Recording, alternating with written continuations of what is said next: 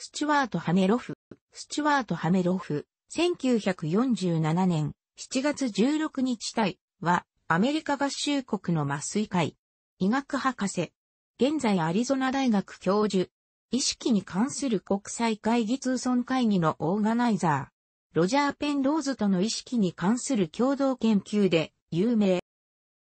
ニューヨーク州バッファロー生まれ、1965年にオハイオ州クリーブランドのクリーブランドハイツ高校を卒業し、ピッツバーグ大学に入学。1969年、同卒業、科学。1973年にハーネーマンメディカルカレッジ、現在のドレクセル大学医学部の一部を卒業し、学位を取得。アリゾナ州ツーソンのツーソン医療センターでのインターンシップを経て、1975年から1977年までアリゾナ大学でレジデンシー。その後、1977年から現在まで一貫してアリゾナ大学で勤務。1978年に助教授。1979年麻酔科専門医認定試験に合格。1979年から85年、アリゾナ大学ペインクリニック長。1984年アリゾナ大学准教授に着任、手には終身在職権を得る。1994年アリゾナ大学心理学科准教授を兼任。1995年アリゾナ大学麻酔科心理学科教授。1999年アリゾナ大学意識研究センター副所長。現在は所長。2003年アリゾナ大学名誉教授。現在、アリゾナ大学附属アリゾナ健康科学センター内の研究所、ユニバーシティメディカルセンターで研究員を務めている。ハメロフは、ハーネマンメディカルカレッジに通っていた頃、大学院時代の癌関連の研究を行っていた。この時細胞内に存在するマイクロチューブルに対して何らかの計算機能を担っているのではないかと興味を持つようになった。そして彼は意識の問題を解く鍵が脳の細胞内での分子レベル、または超分子レベルでのマイクロチューブルの振る、舞の理解によってもたらされるのではないか、と思うようになる。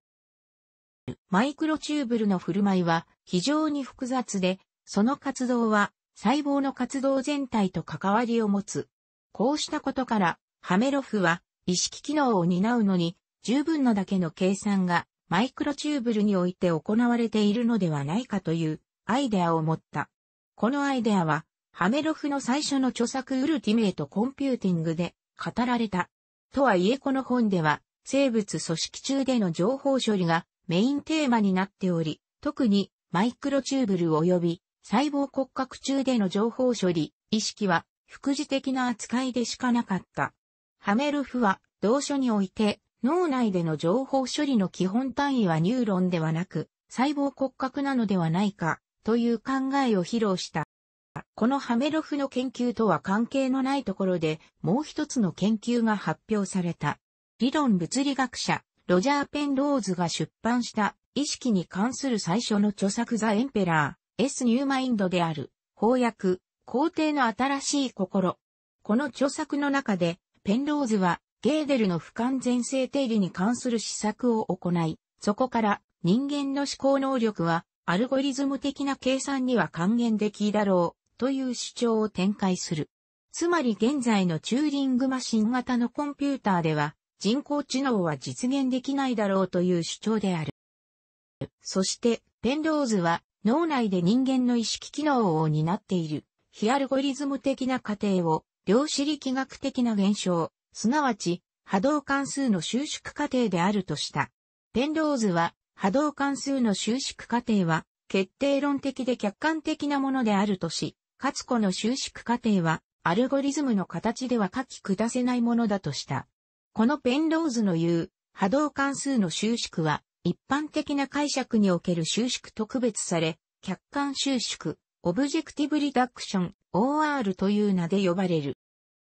こうしたペンローズのアイデアには、神経科学者、論理学者、哲学者など多方面から多くの批判が寄せられた、例えばグラシュ、チャーチランド。ペンローズは、 The Emperor's New Mind を出版した段階では、そうした量子力学過程が脳内のどこでどのようにして起きているのかの具体的なアイデアは持っていなかった。しかしハメロフはこの本を読んで興味を持ち、麻酔のメカニズムに関する自身の理論について話すため、ペンローズに連絡を取った。二人は1992年に会い、ハメロフはマイクロチューブルが脳内で量子力学的な過程を担う良い候補であることを話した。ペンローズはマイクロチューブルの格子が持つ数学的な構造に興味を持った。ここから以後2年かけて、二人は協力して多く OR 理論を作り上げた。この共同研究の後、ペンローズは意識に関する2冊目の書物シャドウズ・オブ・ザ・マインド、1994年を出版した翻訳、新影。この発展版の理論もまたもや多くの批判を受けることになる。特に宇宙論研究者のマックス・テグマークは、マイクロチューブルにおける量子状態の持続時間は、計算から100フェムト秒、10秒程度であるとし、意識機能を担う神経的な過程としてはあまりにも短すぎると批判した。これに対しハメロフは、マイクロチューブルは外部の脳環境からシールされているため、収縮にかかる時間はもっと長いと反論した。ハメロフはこの理論を反証できるとするテスト方法を提案しているが、マイクロチューブルのシールド状態を確認するような実験的結はまだ得られていない。1994年頃からハメロフはカンファレンスや講義、またウェブサイト上などで頻繁に多く OR 理論の説明を行い、その普及に努めている。またハメロフは1994年からアリゾナのツーソンで意識に関する国際会議トゥワード、A Science of Consciousness、通称ツーソン会議を主催している。この会議には、デイビッド・チャーマーズ、クリストフ・コッホ、バーナード・バース、ロジャー・ペンローズ、ベンジャミン・リベットなど、意識に興味を持つ人々が様々な分野から多数集まくる。